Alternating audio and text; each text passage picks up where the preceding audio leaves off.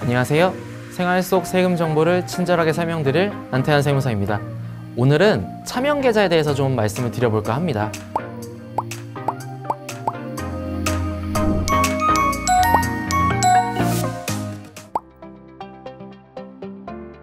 우선 차명 계좌는 돈 많은 사람들만 해당되는 게 절대 아닙니다. 차명 계좌는 타인 명의 통장을 전부 차명 계좌라고 합니다. 여기에 타인은 당연히 가족도 포함입니다. 내 이름 통장이 아니면 전부 다 차명 계좌다 라고 이해를 하시면 좀 이해가 좀 빠르실 것 같아요. 차명 계좌는 불법이 맞습니다. 본인 명의 외에 다른 사람 명의의 통장을 쓴다면 그거는 형사처벌 대상이 될 수 있고요. 징역 5년 또는 벌금 5천만 원 이하의 벌금이 나올 수 있기 때문에 이러한 불법적인 행위를 해서는 당연히 안 되겠습니다. 자녀 통장을 가지고 주식 투자를 하시는 분들이 간혹 계세요. 왜냐면은 자녀에게 뭐 증여를 하면은 좀 문제가 될 수 있으니까 증여세 내기가 싫으니까 좀, 좀 돈을 했다가 주식 투자해서 돈을 불려가지고 자녀한테 주겠다. 이런 분들이 계시는데 자녀의 통장을 본인이 유용했다라고 하면 당연히 이것도 불법입니다. 차명 계좌이기 때문이죠. 주식 투자에서 이익이 났어요.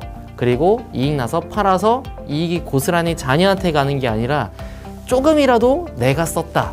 라고 하면은 그거는 전체를 주, 전체를 증여로 볼 수 있습니다. 이제 그런 거를 증여 추정이라고 하는데 이러한 차명 계좌는 불법적인 것도 있지만 아무래도 세금적인 부분에서는 많은 분들이 증여세 문제가 발생할 수 있습니다.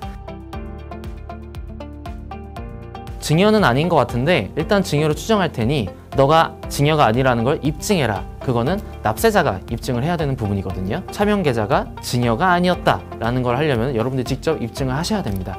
다만 이 입증이 현실적으로는 조금 많이 어렵습니다. 내가 내 통장을 가지고 주식 투자해서 돈을 불리면 되는데 왜 굳이 자녀에게 돈을 줬다가 자녀 통장으로 투자를 했느냐? 일단 이런 문제부터 발생할 수 있기 때문에 이게 좀 어려울 수 있습니다. 그렇기 때문에 가능한 자녀 주식 계좌보다는 부모님이나 뭐 본인 명의에 된 계좌로 투자를 하는 걸 저는 추천을 드리겠습니다 세무서에서도 이런 차명 계좌를 쓰는 사람들에 한해서는 이제 당연히 불법이니까 추적을 하고 있고요. 추적이 그런데 잘 안 되겠죠. 본인 명의가 아니라 다른 사람 명의 막 쓰니까 다른 제3자에게 신고를 받기도 하고 제보를 받기도 하고요.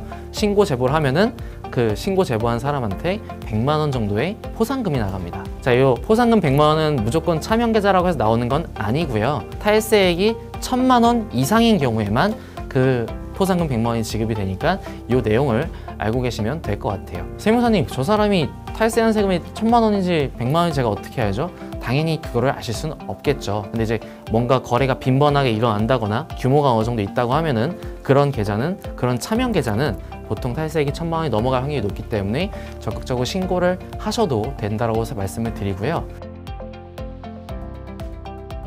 자진 신고는 홈택스나 세무서 방문하셔서 차명 계좌 신고라는 거를 작성하셔가지고 신고하시면 되는 부분이고요. 당연히 자진 신고했다고 해서 뭔가 감면해준다거나 그런 내용은 없습니다.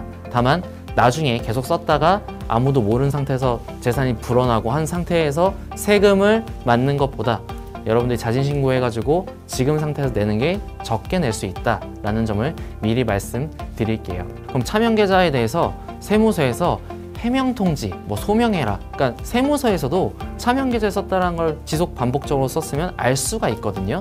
그럼 해명하라고 통지가 나와요. 자, 근데 이럴 때 해명을 잘못하면 세금 폭탄이 나올 수가 있는데 그 이유가 무엇이냐면 차명 계좌에 썼는데 보통 이거는 사업하시는 분들이 많이들 쓰세요. 사업하시는 분들이 내가 뭔가 경, 다른 금전적으로 문제가 있어서 내 통장이 막혀서 뭐 아내 통명이나 아니 뭐 아들 명의의 통장을 썼다.